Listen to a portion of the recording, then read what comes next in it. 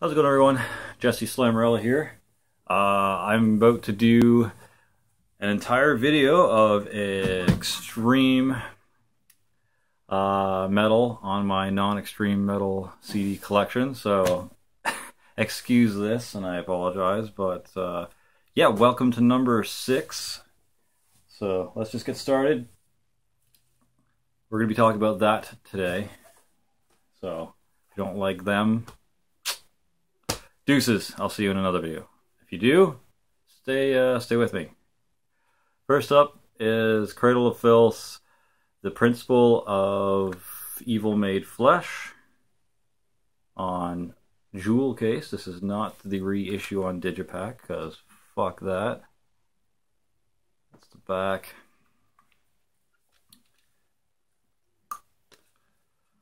The CD and back the booklet, both with the satanic goat head pentagram shit there. Very cool. Uh, see, now this, this was back when Cradle of Filth was actually black metal. Uh, before they just became extreme metal with, you know, touches of black metal and corpse paint. But uh, this this is good stuff here for sure. And um, if you like this, go check out their Total Fucking Darkness demo if you can find it on YouTube or whatever. That's also really, really good actual black metal.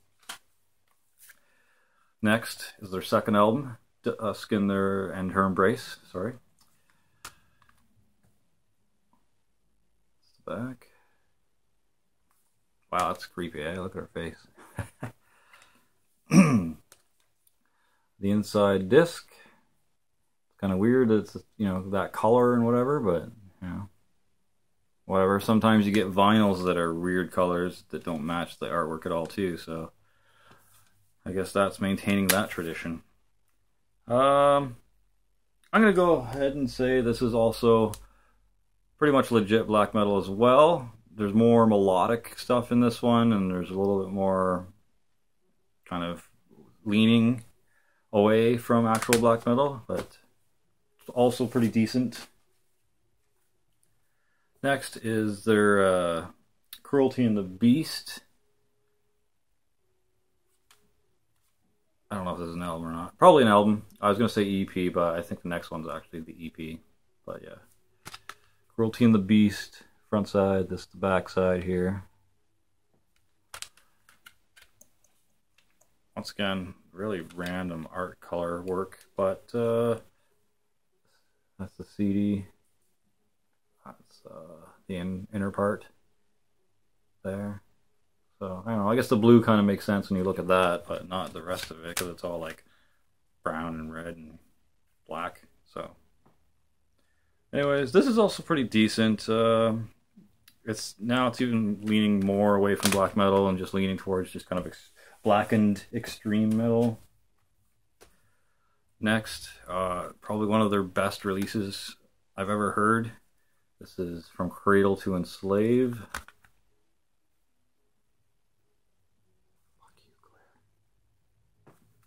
This is the back. Their faces are kind of weird and distorted. That guy kind of looks like a ghoul from Fallout.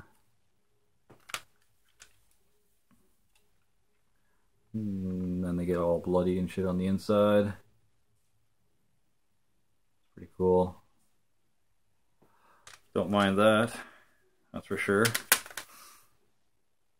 Sleepless is such a good song. I love that.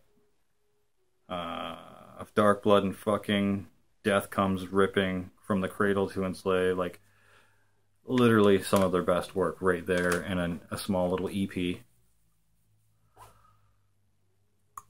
Yep. And then after that, they kind of start going downhill really quickly. Um, because then they start getting mainstream. This is Midian. I got an advanced CD for promotional use only, but when I got it from the Zone in Bowmanville back in the day, which was a used slash new CD store, uh, anyone who went there knows Ken Ken Masters. He's fucking awesome. Really big guy, but even bigger heart. Loved that guy. Got a few pics of me and him on my Facebook, chilling right in front of the uh, heavy metal section, of course. You can't see the fucking title tracks there. That's gonna pop right off because I broke a tab, but I can fix that. It's all good. It's the inside of the CD, and once again, it says an advanced CD. So I don't even think I was supposed to get this, but whatever. This is a cool limited, clearly limited edition since whatever. Like there's no inner artwork at all, you know. But uh, yeah, so that's really the only major cool thing about this besides, know. But uh, yeah, this has got the song that everyone fucking knows with these guys, Her Ghost in the Fog. It's good. Like, you know, I mean, when I first got into these guys, I thought they were uh, goddamn amazing. And um, that was one of the very first songs I heard by them. Uh, Cthulhu Dawn's better, though. Lord Abortion is also way better.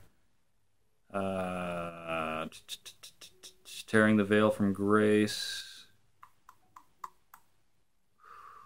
Yeah, Saffron's curse is all right, but yeah, th this is no longer black metal at this point. Next up is a compilation. This is uh, Bitter Suites to Succubi. I think that's a really fucking hilarious title. If you don't get it, then um, you're too young for this, bro. But, uh, oh, got some demon boobies there. I don't know what the fuck that's about. I don't know why someone punched a hole in that. Fuck you for doing that. But yeah. Um, pretty much, if you've got everything else by them before this, you've got everything that is on this disc. I think there might be one, maybe two songs on here that might not have been on their previous stuff, but I don't care enough to really figure out which those are for this video. So back in the day, I just wanted to grab everything up by them, so that ended up in my collection. Same with this.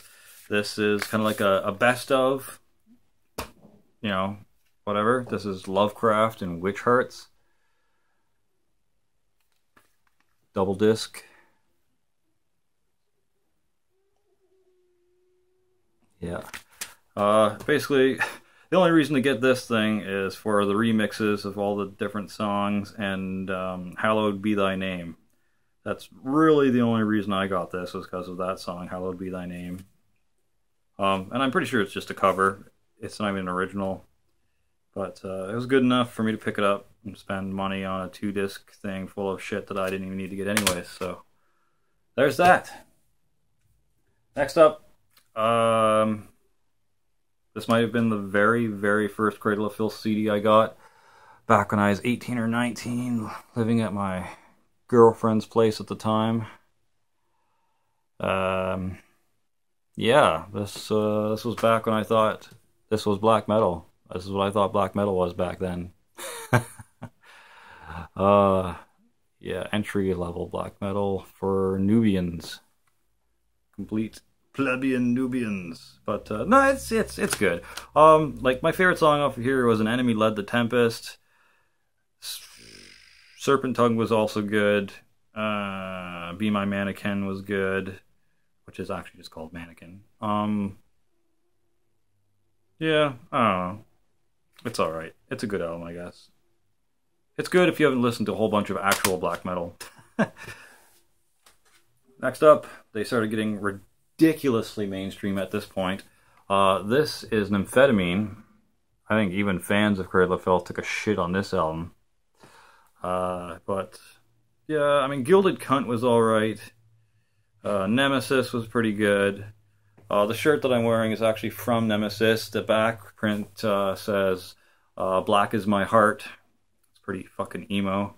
But yeah, um, Medusa and Hemlock, Coffin Fodder, English Fire, Filthy Little Secrets. Painting flowers white never suited my palette, so don't paint them fucking white then. Jesus. Um, don't know if I showed you the inside, but here's the inside. I don't know why every Cradle Filth album has a new symbol. It's like, hey, new album, new symbol. Cool. I don't know, I guess. But, uh, yeah, um, it's alright. not amazing, not anything super worth your money for, I guess. Uh, next is Cradle of Filth's Thornography. Now, this is so mainstream that it was actually good. Now, what I mean by that, it had like other types of metal thrown in here besides like blackened extreme metal and just extreme metal. It had like some kind of groovy hooks. It had uh, da, da, da, the the Byronic Man featured uh, Ville Valo of him, so that's kind of cool because I like him. Uh, Dirge Inferno, my sister is obsessed with that song. Uh, Tonight in Flames is alright. Libertina Grimm's actually a fantastic song. I Am the Thorns, decent. Uh, Fetus of a New of a New Day Kicking, not bad. Uh, yeah. So I don't know. If you want just some ridiculously mainstream Cradle Filth, check this album out. If you are someone who's looking to get into black metal that's just just barely wants to even touch your toes in the pool, check this out and just kind of go backwards in Cradle of Filth's discography until you get to Principle of Principle of Evil Made Flesh, and then go listen to some Mayhem. Go listen to some Mayhem and fucking Darkthrone and uh yeah, because that's where it shit's at. Next is Godspeed on the Devil's Thunder. I don't get that saying at all. I'm sure it means something really, you know, cool and significant, but I don't really give a fuck. Weird ass artwork, some dude with like five heads. I don't know. They're trying to be brutal death metal all of a sudden. Uh, yeah, that's back. There's Dani Filth clutching some baby like he's gonna eat it or some shit. This dude's got a fucking hand coming out of his severed cranium. Oh, these the other guys look bleak and like, why the fuck did I choose to ever be in this band? Look on their face. All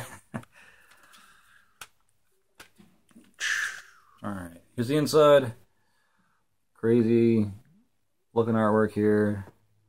Uh, Big Bad Wolf and a couple of Red Riding Hoods. He's gonna make their bitches. He's gonna make them suck his big wolf cock.